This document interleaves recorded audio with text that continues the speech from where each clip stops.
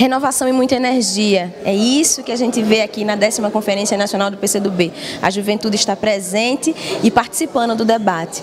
Maria das Neves, lutadora aí dos direitos das mulheres, dos direitos por liberdade e por democracia. O que, é que você está achando da décima Conferência Nacional, né? Daí da Luciana, presidenta do PCdoB, a partir agora da conferência, né? e dos desafios que a gente tem aí pela frente. A conferência renova nossos sonhos e a nossa esperança. Não há nada mais atual do que a luta socialista, do que a luta comunista e o PCdoB mais uma vez sai na vanguarda da luta pelo empoderamento das mulheres, afirmando que é na política o lugar para as mulheres. E empoderar as mulheres também é aprofundar a democracia brasileira.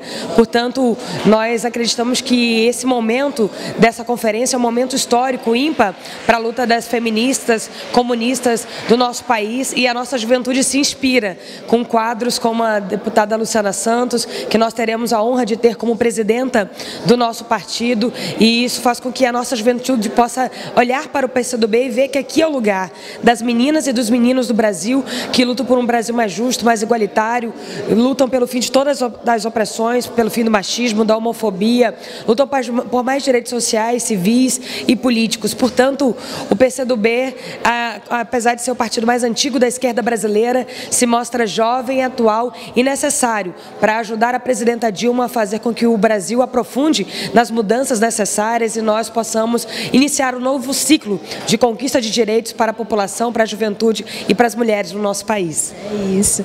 Eu sou Joane Mota, direto da décima Conferência Nacional do PCdoB para a TV Vermelho.